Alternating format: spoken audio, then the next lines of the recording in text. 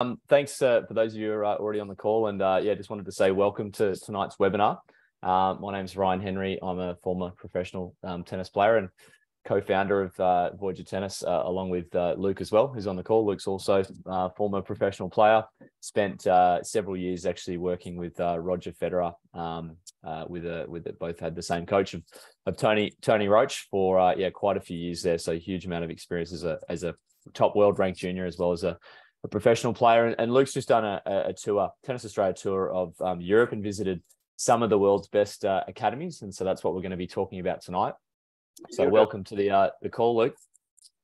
Yeah, I appreciate it, Ryan. Um, uh, really looking forward to tonight. Obviously, it was a great experience. Um, but looking forward to the opportunity of doing this with you. I know we've done a few of these uh, recently, and I can't remember that.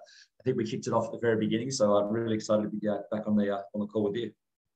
Definitely, mate. Definitely. Um, uh, guys, so just just a really quick thing as well, just on the on the webinar etiquette. If, if everyone can remain on mute um, throughout tonight, that would be uh, that'd be fantastic. Um, all right, let's uh, let's kick it off. Uh, yeah, so Luke, maybe to start, do you want to just talk us through the the goals and the purpose of the tour from um, Tennis Australia's perspective, who who funded it? Hundred percent. But I, I, think to um, Brian, just before we do, um, obviously we want it to be interactive. So if you do have any questions, guys, obviously we'll open up some question time at the end. Um, if you do have any uh, questions too, happy to if you want to sort of put it in the, in the chat box down the bottom and we can, can answer it um, if we feel it's appropriate at the time or come back to it as we have those questions. But um, but right, yeah, right. Coming back to the sort of goal for purpose of the tour is um, this this is a new initiative by Tennis Australia. Um, what they've often done is invested in the player. Um, so they have a pretty ambitious goal, um, something they're, they're really sort of aware of too. And, and the goal is it's basically to have 30 top 100 players by 2032. So by the Olympics, um, Tennis Australia's goal have 15 men and 15 women in the top 100, which I, I think is amazing. I think it's a fantastic uh, um, ambition. Um, and again, it's something that, that, they're working really strongly on. I think for us, as so many Aussies, I can see so many names in the room as well, which obviously would love that to be you. Um, and, and, so what they're doing is, in, in, rather than investing in the individual, what they're looking at is investing in a group of cho- uh, coaches who are really, uh, really sort of focused in that high performance space. So um, yeah, so we've basically the first trip happened last year in September. Um, they took a select group of coaches through the states, um, and again this year there is a process to be selected. So I was I was really um, really fortunate. One or two platinum coaches in the country, and it's based on criteria. So so I had some kids that have done really really well, winning multiple national titles, which qualified in this tour, and and um, yeah, so that, that's really um, what the purpose was. So it was led by Scott Draper. Um, some of you remember Scott um, for different reasons, but obviously a great player. Um, also has a really sort of um, expansive um, field of expertise from getting his PGA Golf Tour card to again work working his corporate background with KPMG, as well as Belinda Colineri. Belinda's the head of high performance at TA, and we had some great, uh, I guess, guest coaches along the way. But that that was really what it was about. It's called the Know the Level Tour. So it was really to see the, the level over in Europe and, and the States. But it was amazing. Yeah, nice, nice, mate. Yeah, it's an incredible opportunity to be able to, you know, it's not often, um, and not many, I guess, coaches have the opportunity to to see what what best practice um, can look like at some of these, you know, the world's best academies, which you've you've been to. Um, and even as a player, like you know, it's one of the things that you always want to do as a, as a tennis player is go and see what the what what some of the best look like. And so that's why we encourage our players to do it. But fantastic initiative from Tennis Australia to get their coaches over there to see what some of the best in the world are doing in that space. So, um, mate, talk talk us through the, uh, the some of the academies that you visited while you're there. Yeah, so um, again, the three countries we visited was Spain, France, and Italy. Um, and again, it wasn't just the academies. As I said, we had a great sort of group from, from Australia, but it was also uh, the first half of it, it was led by Jose Higueras. Um, for those sort of tennis uh, enthusiasts, you'll actually remember Jose as, I mean, he's a great player in his own right. He's number six in the world. Um, but as a coach, he's just got one of the literally the greatest CVs um, out there. Like he coached Michael Chang to the French Open Championships at 17 years of age. I think that was said it was his first one of his first gigs coaching. Um, again, someone like Jim Courier as well took Jim from about 16 to the world to number one. Um, again, a lot of players, Monica Seles, Lindsay Davenport, I think Sharapova as well. Um, but Jose uh, was basically leading it. He's Spanish. Um, again, Jose coached Roger Federer winning the French Open, so Roger brought him on for that. And then he then, since after working with Roger, he took over the USTA. It's actually a big reason for the USTA's success right now. But with with uh, Jose and Mark Kovacs, one of the leading sort of sport biomechanics, uh, we visited um, in Spain. We went through Real Tennis Club in Barcelona, which is again it's got an extensive history, the home of the Barcelona Open. we went to BTT, uh, which which is led by Francis Roig. Uh, Francis coached Rafa Nadal for 18 years. Um, we also got to visit as a crossover. We actually went, to FC Barcelona, so to see the Barcelona Football Club with Lionel Messi, some of the, some of the greats. We actually got to see the inner workings of uh, Football Academy as well. Um, again, across the Nadals, uh, which was a, great experience, as well as Emilio Sanchez Academy. And it was interesting, Ryan, because obviously visiting Sanchez, I know you did that as part of a PA tour uh, back in the day, because one of your students was actually one of the coaches on that tour.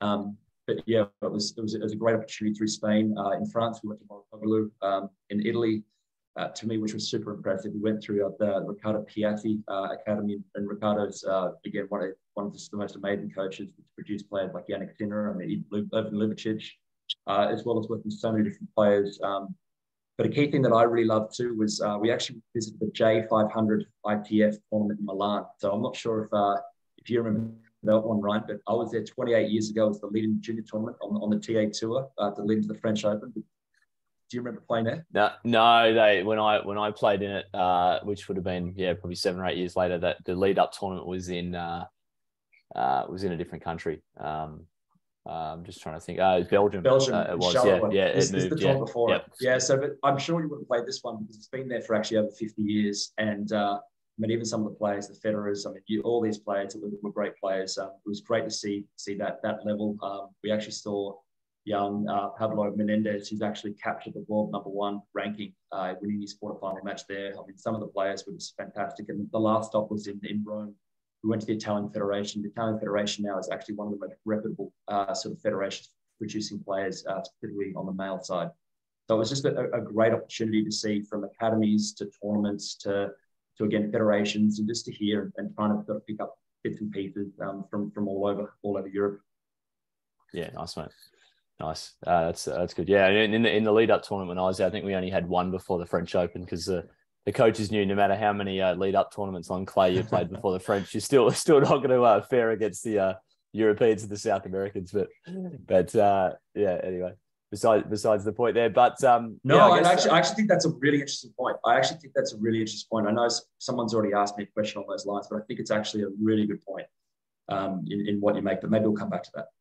Yeah, yeah, sure. Um, yeah, mate. So obviously some of the some of the big academies there, uh, some of the, the, the most well known ones in the world there. What what were some of the key learnings, I guess, or things you you got out of it? Uh, I mean, to me, really, the first one was uh, I think there's a reason why Australia does so well. I mean, for such a small population, in Europe, there's so many populations, like so many countries that are so closely located. And you just see, to me, what, what I was so impressed with was the amount of people that are fully committed, like absolutely all in on the tennis. Uh, and again, I know we still we still see a few here, but to me, tennis was the center of their lives. See how everything else orbited that, and that, that was one of the things that I saw here. Is probably there's there's key reasons why we are so good, why we've actually produced so many players, um, and again, a lot of our development practices. Because that was one of the things. The first thing was actually again same as the states. I was actually really happy seeing what we deliver in our method and our methodology and what we're sort of doing at our academy. Um, but but yeah, it was just it was really that commitment level was probably the first thing that jumped out at me because I know it's probably one of the hard things we see here is how people are juggling so many different things from school and family and friends. That was for me a huge key part. Also, too, what really blew me away is no matter where we went from again to uh, literally even Real uh, tennis club in Barcelona, and I mean they they were literally having it cracked too. They they they have a Tommy Robredo, who a lot of you remember. Tommy was basically a, um, a guest coach that comes in monthly the first thing they talked to was actually the US college pathway. And whether it was Nadal's, whether it was Mouratoglou, whether it was the Italian Federation, they actually spoke to that and they spoke to it so highly. They're obviously talking about, to me, again, I know that's a big driver, a big sort of pathway for us, but across the board, that was that was one of the things that so many of their coaches, so many of their players were actually looking towards. And, and I think that was to me, I was sort of a little bit surprised in that sense. I, I, I thought I was going to see more kids, you know what, I'm going pro, I'm going early, I'm going hard and really going to back myself and have a crack. But that that that again was sort of um, really really really critical. Like I I just I, I was really surprised um, in in what they were sort of looking for. But but again that, that that key thing there, you just saw so many kids that were actually fully on board, knew what the vision was, obviously knew the mindset that was required, and, and just all their behaviors revolved around it. It was actually really really impressive. And and so I guess with that focus being college being the the number one goal of a lot of the academies, getting players to enhance their education um, at a US college. Um, I'm assuming the education side is is uh, uh, what what sort of combinations I guess did you see? Did you see a lot of distance education or a lot of like academies with schools linked in? It, yeah, a, a, bit of both. In all honesty, I mean, some some of them you could see, like one of the academies in Spain, um, their program was was pretty interesting. Like they went from eight to nine in the morning in sort of gym. A lot of the sort of activation work took to get before getting on court. Then from nine to twelve was a combination of tennis and gym. Then they had lunch, like a nice lunch break from twelve to one thirty. Then they're back on court for sort of an hour and a half um, in the afternoon um, with the typical sort of point play situations that you see. And then for me, it was quite interesting that their school went from four four thirty to seven forty five at night. I think that was an extreme in what we saw in, in what they were doing. But but a lot of the um, again, Nadal's had a different model where to me there was kids doing different things. So a lot of the school kids only hit once. Um, so, so some of the kids that had had sort of more of a performance mindset were hitting a couple of times a day that school revolved around it. But yeah, it was it was a mixture of uh, again a lot of distance education, um, a lot of uh, again schools that worked around their tennis. Yep. Um, yep. Yeah. Gotcha. Gotcha. And um, obviously one of the main benefits of of you know some varying education setups is that you know players can in, increase the training the training volumes and match play volumes which we know from all our research um, that they are uh, the fundamentals for being a great player. You know the the 10,000 hour rule 100% applies for for tennis and the more matches players play the better match play they become. So what what are some of the I guess the volumes that you typically saw at a lot of those academies that players are getting uh, in terms of both training and competition? Yeah, well, I, think um, again because Senate was to me time wasn't really a, a, challenge, and for me being in Sydney, I think it's one of our biggest challenges how people are so time poor. Um, that that was that was one of the things there. But again, we were sort of seeing 12 to 12 year olds sort of about 15 plus hours a week on court, probably 15 to 18 hours. And again, I think that's something there that not something they just jump to. I mean, we talk about progressive overload and how the kids are working towards that and gradually building to those processes. Um, so building up to that level where they can maintain it without having too many sort of injury overloads. Um, but yeah, it was it was re- literally most kids were sort of that 15 hours and up um, from what I saw. But the key thing was it was actually the time they spent in the bodies. To me, that was one of the things that I think minimum kids are spending 10 to 12 hours a week on their on their preparation of their bodies, obviously their prehab, uh, making sure that they're doing a lot of lot of development work, making sure they have the right movement patterns. Um, that was that was, and again, that was really key to see, uh, clear to see. And um, from a training sort of a match play volume, it really really depended. Because again, I'm saying college. I'm, I'm not saying that college was their primary focus. A lot of kids obviously they wanted to play professionally, but there was there was actually a, a realistic understanding that hey, unless I'm sort of tracking as that outlier where I'm sort of 400 ATP or WTA by my 18th birth year, um, that that's where I'm, I'm, I'm, basically going down that path. But um, but yeah, yeah using the, I guess I guess it, a lot of players are pursuing the pro circuit via college. Essentially, correct. is is what yeah. you're saying? Yeah, yeah, exactly. Like we, I saw this young girl, Clervie Ngounoue from um, from Maryland in the states. Like she was she was a gun. She was 16. She's already 530 WTA, so she's top five in the world. And just watching her play, I mean, you can see the reason why she's at the level she is. I mean, she's she's just just a physical specimen, and and and uh, you can tell she's been putting in some serious hours, um, and and obviously getting the competition up and and, and playing because. Uh, again, sort of talking about some of the things that we saw there from a competition pathway perspective, um, definitely what I saw. I didn't hear as much in France, but I do know there's a lot of competitive opportunities. But in Spain and Italy, um, one thing they're doing very, very well in the Italian Federation also is they're actually very, very clear in their competition pathway. So they they've got basically a, a, system where if you're 11 years and under, you actually have to play green ball. They refuse to allow you to take part in competition unless you're actually on green ball and using a modified racket, so 26 inches and, and, and less. If you're a 27 inch racket, they actually have made it mandatory you will, will not be able to play. And what they've then done is linked into their whole sort of red, like their, their competition pathway from the hot shots level. Um, so the kids were actually playing a lot more competitive matches um, from that pretty early, from that early age. From to me, the youngsters were sort of probably 60 to 80 matches um, to then up and above. Because uh, again, there is access to a great um, sort of tournament pathway. So whether it's a provincial level and then leading to again your ETAs, your European uh, events, to national levels, to ITFs, um, kids were playing probably two to three weekends per month. So so they're up there at sort of that 120 to 150 matches. Um, again, probably from an older age. So we're sort of talking 14, 15 and up um, yep. for some of those older ones. Yep. Yeah, interesting. Interesting that like the UK actually do do a similar thing where they uh have have everybody in the right ball color at a young age, and that is the only way you could progress from say orange to green is if you get a pass. If you win a bunch of events and get a passport. Other than that, they uh they keep them in their age groups. But uh yeah, it, it, one of the challenges like with Australia is that everyone's sort of chasing the next age group, so everyone plays yellow at you know seven seven and above if they're if they're good, but it's not the ideal not ideal, I guess, from a physical development or technical development perspective. But we are we obviously have to deal with that um, when it comes up. But uh, I mean, any uh, obviously you talked about the physical side there. Lots of lots of focus on on physical training, um, and uh, any any any sort of focuses that you saw on the psychological side and and uh, how academies are, are, are, focusing in that space. Yeah, uh, and I think there's they're, they're actually really strongly linked because even sort of talking about the the training side of things, and again, like I know. Um, people sort of question the idea of going for long distance runs. Again, one of the, the Spanish and, and they go for 8K trail runs getting young kids running 8Ks. They do it once per week. And they were talking about the idea of the benefit as, as an athlete is actually more so from a mental strength perspective rather than the athletic development you actually get. Um, but but yeah, I mean, we, we did see obviously a lot of physical and mental development for kids. Is is that they were they were doing well. They they knew what they're working towards. Um, just uh, I mean, again, physically, I felt like they was like so much stronger than a lot of our kids. Um, and again, a lot of it comes from the hours put in, but to me, the mentality too. I mean, going to the J500, of, uh, you, you, sort of, of course, you'd see, um, you'd expect, I mean, those kids, the cutoff there is, is sort of top 40 uh, ITF, the top 40, 50 players in the world. Um, they're tough. They're tough. And, and even a lot of the youngsters that we did see, um, you could see they've actually really tested and tried themselves in competition and, and, and basically understand the process too, because that's that's probably a little bit off topic, but one of the things that I did see was, with more of a greater focus on the long term sort of the long-term athletic development, sort of thinking big picture, rather than I know that's one of the things I often grapple with here is people want sort of the gains and the progress now, and unfortunately, that's not typically the way it works.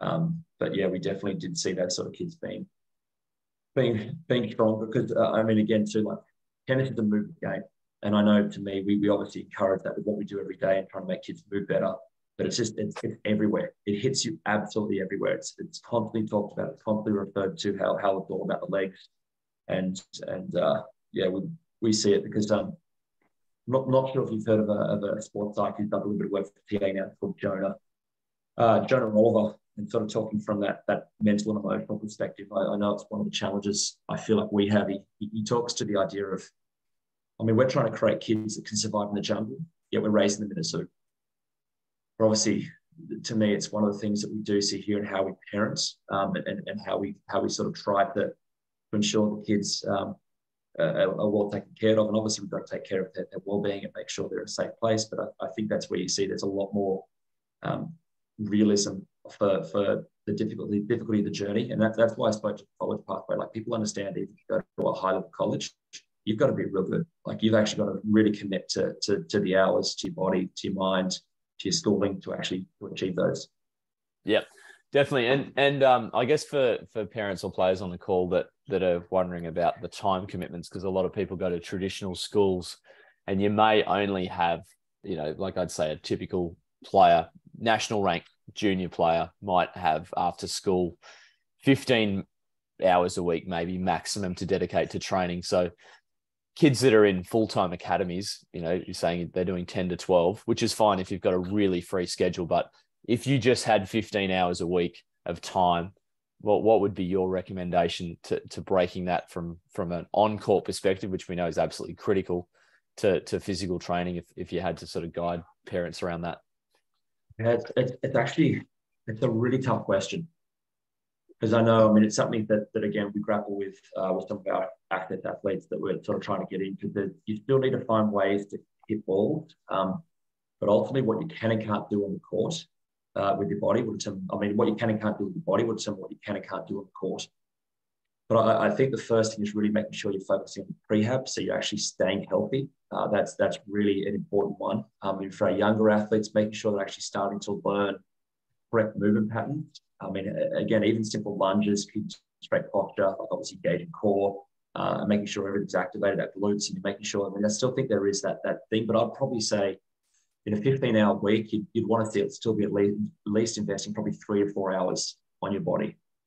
Is it, but it's a really, it's a really tough one because as the kids start getting older and stronger, and they start hitting the ball better. You actually need to spend more and more time on your body. And it's just that that balance. So it's a it's a really hard, it's a really hard one. I mean, it does depend on the athlete as well. I mean, some kids, if they do struggle and they they they they need to, you probably invest more time uh, rather than hitting balls. But it's a compromise that you ideally not like to make yeah it's like customized right? So yeah, yeah. because I, I, think that's the that's the thing like from a really young age like actual physical training has less less of an effect on the on the body you know strength training and speed endurance and, and things like that. And as you get older you can actually get gains. But i know the thing that precision athletica our our partners sort of talk about all the time is like the number one goal of training is is actually you know preventing injuries and being able to play you know 52 weeks of the year instead of instead of a lot less um, with injuries. So yeah, a lot of that time, I agree that um, yeah, it, it, there needs to be a dedicated time each week to injury prevention or prehab, as it's called, um, is is super important. Um, sometimes I guess I see the error of, of people focusing a lot of time on actual, you know, fitness and and strength training without getting a you know an actual uh, an individualized sort of program that actually prevents injuries number one and then builds on on good you know athletic foundations after that. But uh yeah it's always a tough one. I, like a lot of our programming at some of at, at, at our voyager locations we prioritize like almost all of the time on court because if someone only gets 10 hours a week then they need to do we've got 10, 10 hours on the court. But um but yeah it's it is a it is a tough one. But just a good perspective for, for parents so when you said 10 to the 10 to 12 hour number i thought i you know like still from a parent perspective, you still want to prioritize 80, 90, 80, 90% needs to be on court and 10 to 20% probably off court as a, as a general guide to, to consider. Yeah. But no, definitely. I think, I think Ryan too, it's probably a little bit of a segue, but it's again, a lot of the learnings too was um, not just the idea of seeing the academies, but some personal development work. And I know they talk about, um, Scott talks a lot about the high performance formula, which again, first of all, is about really aligning to your vision. And that's one of the things there where people are saying, hey, look, I want to play pro, I want to go to that high level college, which is great. And I think that's something I'd actually really encourage everyone to really think clearly about because what we then look at is well, what's the mindset required to achieve that vision? Because what we talk about, the mindset obviously determines your behaviors. And when you actually multiply that over time, okay, that's actually the outcomes you get. And we can see how that works. And that's again sort of talking to, to me, one of the first things that struck me was just the amount of volume, the sheer volume of people that are actually all on that journey, that all are really sort of looking, hey, this is where I'm going, this is the journey. They've got an absolute laser focus and they're, and they're working towards it because that's where, again, I know it's, we're sort of talking about being time for and compromises. To me, what they found, they found a way to actually really commit early mornings. Like again, a lot of them are up before sunlight, sunrise, and they're, they're putting in the hours, finishing school eight, nine o'clock at night. So it was actually really impressive. Yeah, nice. Nice. Um, all right, let's uh, let's uh, change uh, change the topics a little bit here, and we'll go into um, like I guess the coaches and observations. So, from a coach perspective, what were some of the observations you had around the type of coaches that were over there? Um, what were they looking to instill in their players? Any differences from what you see some of the best Australian coaches do? Yeah, any any uh, thoughts and observations around that? Yeah, it was actually it was really interesting. Um, again, we, we, were really fortunate to be exposed to, to some of the best. I mean, I mentioned Jose. I mean, Jose was fantastic. He had young Maddie Inglis, um, young Australian players who was, was about 110 WTA. She's sort of um, just sort of coming back in. She's been coming back off injury. He actually did some sessions with Maddie on court. Um, it reminded me so much of, of, a lot of the coaches I'd worked with um, in, in, Tony Roche and even for me, Kim Warwick, who was a huge part of, of, of my development in the simplicity. It was so simple. It, it wasn't it, it, it wasn't complicated. Um, I mean, for me, it was what you often talk to, Ryan, as well, was actually reverse engineering of playing a match. And that's constantly what sort of um, Jose would talk to is, is, how do we actually base this around playing the game, competing? And, and, to me, that's that's what I loved. I mean, to me, the simplicity with progressions, regressions, uh, again, the communication was again another another thing that was really striking. Because those better coaches, they make it fun. Like even though they, they get you to work the house down, it was unbelievably engaged, un- unbelievably fun. Um, uh, but just the simplicity, and again, um, really lucky to have Tony Nadal spend a, a, fair bit of time with us, and he, he literally was hilarious. Ryan, you asked me about the sports side of things. Tony said, literally, I keep it simple and focus on the big things. And he talked about intensity. He said, hit it hard, hit it in. He was talking about the ability to deal with adversity he talked about effort and ownership, or just simple things. And he said, literally, don't talk about nutrition, don't talk about sports psych. I want to focus. I don't want to focus on the one percent. And I know that's sometimes what we can see as well, and I think it's a really interesting one for parents. Is just coming back to, to again the absolute simplicity. I mean, Riccardo Piatti was there talking about technique, and, and his system's um, really well known. And literally, the first thing they do is they film you when you come in, and all he talked about was early preparation. I mean, grips, swing path, simplicity, contact out the front, long follow throughs. Like it was, it was to me. Sometimes I feel like that's where in Australia we can actually overcoach it's it's it's one of the things that I see, and I know I know for me it's something that really resonates. I know in my coaching style, what I, what I try to do with kids is, is make it so they don't really have to think about it. It's something that happens naturally. But that was just a key theme that we saw from again an individual coaching style to even the philosophies of the academy. Because that that's one thing that I love was was visiting the various academies and just seeing what they actually truly believed in. And, and one thing I love because again, improving it takes time.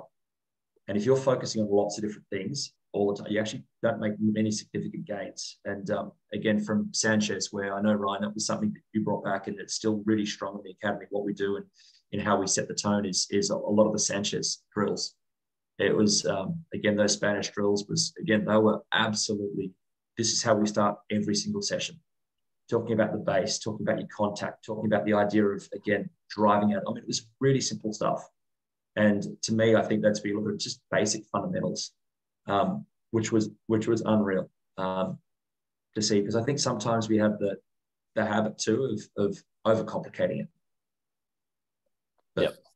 One thing too, and again, which which I saw was quite interesting. A lot, a lot of the academies too, like obviously they've got a lot of coaches.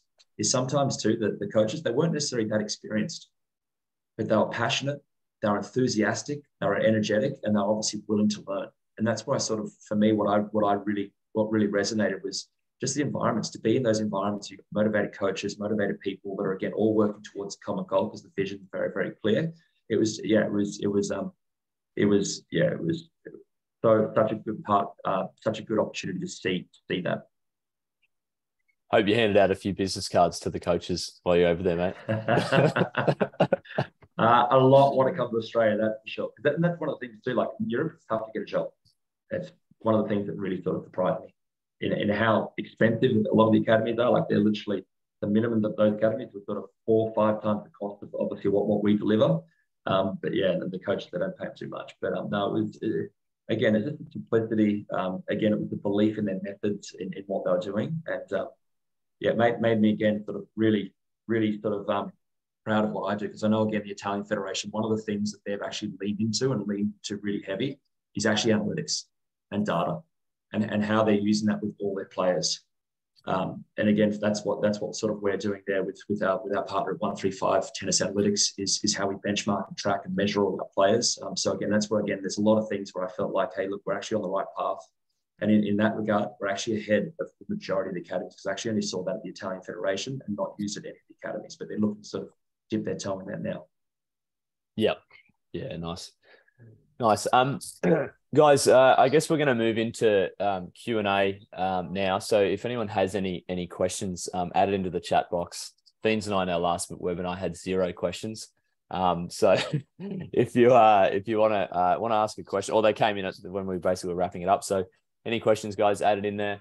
Um, while uh, while we give you guys a chance, yeah, one of the things I found really interesting about going to Sanchez Casal, probably more than any other venue that I've ever been to is just how structured the drills were when I was when I was there. This is back in this is back 20 years ago, uh, 18 years ago.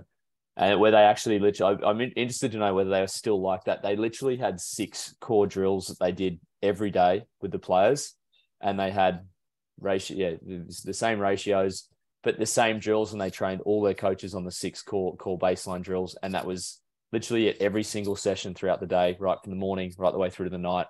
You came in, and I don't think it really changed. I was there for two weeks, and it never changed. Is it is it actually still as structured as that, or have they changed philosophies at all? It is. It's still the same. They talk about defense, neutral, offense, or attack, as they were calling it. Um, it is exactly the same.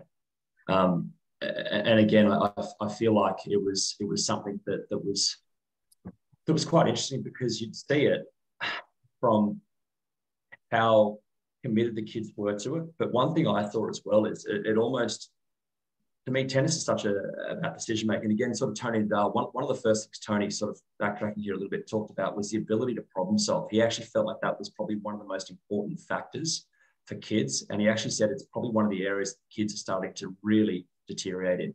And, and again, to sort of lean back on that sort of the, the zoo and the jungle analogy, because often what we hear is parents are, are the GPS for their kids. They're directing where to go. And when the kids get out on the court, they actually get lost. And, and what I saw then again the kids that are playing a lot and they're competing a lot, they can naturally figure out probably the better ones. But I, I really, I really feel like that was probably uh, one of the things where there's strengths to it. But you still want the kids to be able to really think clearly and obviously understand when to use what. Yep. Yeah, definitely. Definitely. Yeah, no, that, that philosophy was a really, really interesting one for, for me to see. Yeah, amazing they're still doing it. Um, yeah, they are. Because uh, because sometimes obviously academies, you know, change philosophies or freshen it up, but sounds like they're uh, they're, they're really um, there's there's there must be some strong-willed uh, directors in there, maybe. You know. Uh, um, all right, um, we've got a couple of questions in. Um, so we've got uh, Brooke has said uh, or asked, um, what uh, would one or two significant differences be between American and European academies? Yeah, good question. Um, in the states, we again we were so fortunate in seeing going to IMG, going to Inspired Academy, uh, having a look at um, again altitude. A lot of the, the academies you probably wouldn't know, but altitude was, is now run by the former IMG uh, director of, of, 18 or 20 years. Um, so got to see some great things there. Um, I, I, would say uh, the thing about the European academies too, again, and I can see sort of that question around the clay courts, it was a big part of it, also the club's uh, structure, is uh, I think in Europe, there's there's more of more of a sort of that that suffering mentality. And, and that might potentially have something to do with the clay, but, but that's really a key driver that they talk about. To me, that's what I saw there. Is to me, the kids were a lot tougher in general, what I saw in Europe than, than the States. And I think that's where the, the, real sort of key thing around their philosophies, again, the same in the States. The States were very, very strong in what their philosophies were. But to me, what I saw in general was that same concept of, of kids being prepared to suffer and really do the hard yak. And again, there was some, don't get me wrong, there's some really good players in the States. There's some really hard hardworking kids. But I think that was probably the, the one of the overarching things that we saw across all the academies was that that ability to really grit your teeth, that sense of um, developing that that that toughness and that grip you need to do to, to, to actually grind out the win. That's that's a common theme. And again, for those that do know Europe, that is literally the Spanish system. It is about the ability to endure, about the ability to suffer. That's probably one of the things that I saw there as the kids. To me, were were were, were pretty tough um, from from what I did see. Yep. Yeah. Nice. And uh, another question coming in. Um, so clay courts are more common in Europe than Australia. Um, does that make a difference in young young players' developments? And an advantage there. Oh, I, I, think it does. I mean, it definitely is a, a, natural. I mean, there's some advantages there. We, we spoke to load, um, and I think that's where in Europe it, it, you are. You're you're able to play more hours on court on clay. I mean, that's the first. It's, it's softer on the joints. Um, it's easier on the body. Um, but but that's that's where I think it's it's an interesting too. Um, when you look at it, Ryan, you made that comment at the beginning that that your coaches basically um, didn't particularly spend too much time on the clay when it's about getting results. Yeah. And and and I think I mean it, it definitely does help to have blocks, but even at Nadal's, that's actually and again I know the clay courts they have there is there's way more hard courts than clay courts. There actually at the beginning there wasn't even any clay courts at Nadal's. They actually all trained on hard, which I thought was was quite interesting. Um, on the days we were there, we did see the clay courts being used because it was wet. The indoor courts um, were the only ones being used. Um, but I do know they spent a lot of time there. But I, I, definitely feel like it does. Again, talking to the idea of the, the patience that you need to develop the discipline. I mean, obviously, too, the movement side of things, like on clay, you've got to really make sure you load up. Um, you've got to be balanced. Um, again, the mental, the mental sort of uh, side of things you need. So I definitely feel like there is. But uh, I do hear this a lot um, Ryan. And again, that's why I sort of bring that up there is because I, I, look at it, I see a lot of Aussies, and I think it's good to go and get to sort of wet your teeth. But one of the things we have a lot of our academy kids go over, um, they have gone over. And one of the things they sort of said when they've come back is they actually speak to what we do, the level of what we deliver, our coaches' expertise and knowledge. But from a training perspective, it's not the training side of things. For me, if I was going to send a kid to Europe, yeah, might go to an academy for a week or two to acclimatise. But then for me, it's about competing. It'll actually be about going to play the tournaments. Because if, if we look at it from a results perspective, um, our competitive advantage is not being a great clay courter. Like, all right, I'll ask you that. Who, who, who would you perceive or who would you think is our best clay courter in the last 20 years? Yeah, I mean, you typically you typically don't get you know developed clay courters from from Australia. Um, I mean, I don't I don't know the last time we made a someone an Aussie male player made a quarter of, of Roland Garros. I mean, you might be able to tell me tell me who well, that Ash, is. Ash, Ash Barty. I mean, to be Ash Barty, obviously uh, her French Open champ. She's she's the, the standout, but Ash is Ash. Yep. Ash is unique. Like she's so yep. amazing. And I think it's really hard to sort of put a generational player like that. But you look at it, typically Aussies, we actually minimize our time of play. Like through that, and again, as pros, you obviously can pick your schedules and it happens. Um, where yeah, it's it's, it's it, it is a really it's a really good point. I mean, you just develop d- different game styles. You know, the players coming out of the US, they're playing on faster hard courts. They're going to be play- there's more all court players. There's a couple of serve volleys in there. You know, that or aggressive baseliners. You don't yeah. typically see counter punches coming out of the US. Um, uh, or, or, Australia for that matter, where a lot of people grow up on synthetic grass or hard court. So it just tends to produce a different style of play. I mean, Europe, there's a lot of indoors, I guess, and a lot of hard courts. So it's not like you, you do see a lot of crafty, uh, aggressive players coming out of Europe. It's probably more South America where it's a lot more clay that you typically see the the the, uh, the grinders coming out of there. But um, yeah, it's, I, I, think it's a I think it's a good question around clay or not. I do think it's it's easier on the body. That's probably mm-hmm. as you say, that's probably the main benefit. But besides that, it depends on the style you play. I mean, one of the issues that I always found um, growing up on say synthetic grass or hard court is that well, it shouldn't be an issue, but you know, typically when you go and play overseas, so say that using the four Grand Slams as an as an example, really well Australians really well suited to the Australian Open, the US Open, and Wimbledon we we like those three events. The French Open was was almost a really difficult event to do well in because you're competing against all the South Americans that grow up on clay and all the Europeans that spend lots of time on clay, the ones that do um, anyway, and it feels like a different game. So it's so it's just that's just the reality. You're still really well suited to most surfaces by growing up on hard or sing grass or or or a little bit of clay here or there, but um, yeah, you end up, you know, and, and I think as a, as a once you start to, I mean, for, for a professional player, as you know, then you just avoid playing on the surfaces you don't like. If you're a great grinder and you grow up on clay, you'll you'll pick a clay court, um, you know, season or you know, tournament calendar versus, you know, a lot of Australians won't typically play very much on clay at all when you've got the choice. Um, and I know US college is probably where most of our players are heading.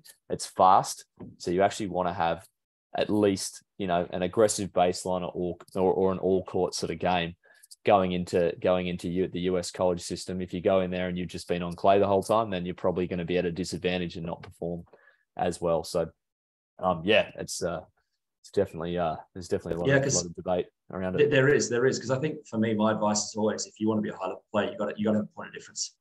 And if you're going to get out there and be three meters behind the baseline and grind like a lot of these kids that have been doing from day dot, it's it's actually to me it's it's um it's really really challenging. And I think our competitive advantage, um, maybe it's a cultural shift as well. It's always been based around the serve. From going back to players like Alicia Molik, I mean even Sam Stosur on the, even on the WTA tour, and then and then you look at um, an Ash Barty or even Astra Sharma. It's it's all big names based all around the serve. Casey Dellacqua. I mean our players have actually broken the top hundred because we've only think only had two in the top hundred in the last ten years. I mean because I'd, I'd, point to this, the Spanish women. I mean, outside of Badosa and to who is it? Um, Rebecca Almacoba, I think her name is as well, who's about 65 in the world. They actually don't have too many females that are breaking through because I think that's, again, always encourage people to go and have a look and get a taste. But if you're trying to compete on their, on their territory, to me, it's, it's, it's not the way forward. And that's where you look at all the Americans that are coming through. I mean, I mentioned Clervie Ngounoue, who was there in that young $16, 530 WTA already she, I sort of fall over on the court. Like you could watch her play. Like she didn't have the ability to actually slide into the shot. She was basically stumbling around the court. She made the, uh, the semis of that event. But I, I just know for her, you can see it as a pro. She's going to basically schedule everything around everything else. I mean, you, you can have fast court players, and again, her game's based around serve and aggressive game style, like we talked about. But I definitely feel like there are some, some, some benefits but to me, it's about you. It's about your game style. It's about your point of difference. And I just feel like, again, even a, uh, a, people often say Alex de hey, he's our best clay courter. He, he tries to avoid it as much as he can. His game yeah. style. He sits the ball yeah. so flat. He needs fast courts. And I know people say, hey, yeah, grew up in Spain. I mean, to me, Mouratoglou, most of the kids are on hard court. Like all those, they're all on hard. There was only a handful of clay courts. Again, the dials, it, it comes back to you and your needs. Yeah, yeah, yeah. That makes uh, completely makes sense. So, um, question, uh, follow up question here is: uh, any are there any advantages that you see for learning to play tennis in Australia compared to Europe? Well, in Australia, I mean, I, I think to me, the advantages are you're at home. You, you, you get to, to be around. I mean, it's again, it's a really simplistic one, but to me, I mean, again, Ash Barty talked to Ash. One of the reasons why she was sort of stopped playing at 17 was she got sick of traveling. She'd been traveling for the world since she was 12. I mean, Australia's produced so many players, and again, we're still doing to me quite well considering the size of our population, the actual amount of people who play tennis. Um, I would say the competitive advantage that we have is, is again, is if you play fast. And that's why my kids are playing now. I know it's on court with some of the, the, the, girls that are her age. And to me, the competitive advantage that I know is based around the serve. So we've done tons of throwing work. Um, that is that is the area. And again, I'm, I'm trying to encourage my students to play fast, to actually take the ball on the rise, like all the best players do. Um, again, to me, that can be an advantage to have that point of difference as long as you have the skill set to actually execute at a really high level. Um, but again, from Europe, to me, there's some great advantages as well. Like obviously, if you do grow up on the play and you do have access to it 24-7, fantastic. There's obviously a great base for you. Um, to me, again, the competition is, is really strong, having so many countries that so closely uh, tied in together. I mean, I think we're in, uh, again at Piatti's, one of the coaches talking to what their, their philosophy is, where they'll go out and play. Um, and again, you can go 45 minutes to an hour and a half, two hours, and you could probably be in three or four different countries where they can, they're back home that afternoon they're back on the practice court. So that to me is probably more, more what I do see is the competition. But if you have the opportunity and you've got the means as a young kid, um, I, would highly encourage you to go over, but not necessarily to visit the academy. It's, it's not about the academy because again, speaking to the academies, uh, the academy model is what I saw is not all kids got the same service. Some of those bigger academies, they're actually paying for those better kids. They actually sponsor them they bring them into under, under their management system and they basically look to, to recoup the, the money, the future earnings, and they actually have a different program. And that was one of the things that I did see there with a lot of their targeted kids. So there was almost two different elements. And at one of those major academies, um, which was our tour guide, was actually one of my uh, one of my colleagues from back in the day who I used to play on tour with for, for 12 years. So he actually gave the true insights on, hey, this is what we actually do. This is the model. We, we love having these great kids that then draws everyone else in, which to me is fantastic. But um, to, to me there it's it's uh, definitely advantages. But I, I still feel like as an Aussie, you're going to go go go for a taste, go and get some matches under, go and go and see the level, and then come back and work your butt so you can actually be ready to hit the ground running. Yeah, yeah, definitely. And I suppose just to follow on from that, like it's uh Australia is one of the best tennis nations in the world to be living in. If you want to be a professional player or, or a very high level player, the training environments, I'd say, in all of our major capital cities are are really, really good. I mean, we've, you know, Luke and I have been fortunate enough to spend time in a lot of different countries playing tennis. And I'd say 90% of them are, you know, have no funding, you know, very little funding from the Federation. Very, you know, there's a lot of countries that have very little, you know, uh, way uh, in the way of tournaments or competitions or you know environments like that. So it, it is something that I that I've every every time I've traveled to different countries, I always think you know there's countries like Singapore, for example. I know there might be some people on the call um, from Singapore, but there's there's very few tournaments there. There's very few really good training environments to choose from, and so that is that is something that I think a, a lot of Australian players are are very fortunate about. You're literally one of the best countries in the like for, per per per um for the population that we have, like we must be ranked in the top three in the world for producing players. Like I don't know, that's there's probably a stat on that, but it's it's it has to be right up there. Um, and uh, yeah, and and the only thing that I think players miss, and this is this is what you you would have got as a junior, and what I got as a junior is just just exposure internationally to compete. So I I don't think I ever went overseas to train as a player. I always went overseas to to compete and literally test your game up against the other best players in Europe or the United States or South America. Um, did tours across all of those those places because at the end of the day, you want to test test your game under competition. Um, uh, not to say it's yeah, as I said, I think it's really valuable to do to do training blocks if you're over there for an extended period of time um, to to do it. But uh, yeah, it's the competition that that Australian players um, that get to a really high standard need to need to go overseas and, and experience um, that against other other players. So um, Um, guys, we've uh, we've got to the uh, to the end of the uh, the webinar now. Um, uh, appreciate uh, all of your um, questions there. Um, apologies for missing the last uh, last couple there. We've just run out of time. Um, yeah, mate, it sounds like obviously a really a really great trip. Some really good good learnings out of it. I guess some things for parents um, and and players to consider who are on the call is just around that.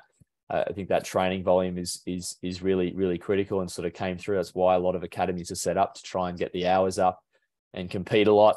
Um, the focus on the physical development side is is obviously a really a really key one. Without being healthy and uh, and that it's going to be hard. And I suppose the other key message was just around the um the education side is obviously a really critical part for for players because uh, yeah, very very few players are going to make it professionally, but a lot of players can get a great education out of tennis as long as you get the balance right. You want to try and play. Colleges are typically looking for really really high level players that are good academically. Um, and so if, if, parents can and players can find that balance, I guess you can end up, you know, going to amazing colleges, having a crack at the pro circuit if that's the, the, the way you want, or just get a great a great degree and and uh, enter the workforce and continue playing tennis for the rest of your life. So and enjoying it. So um, some really good messages in there, mate. Um, thanks thanks so much for your time. Um, and uh, yeah, appreciate it. And we'll we'll, uh, we'll we'll do it again soon. We'll let everyone know about it. Yeah, absolute pleasure. Thanks, Ryan. Thanks everyone. All right. Thanks a lot, guys.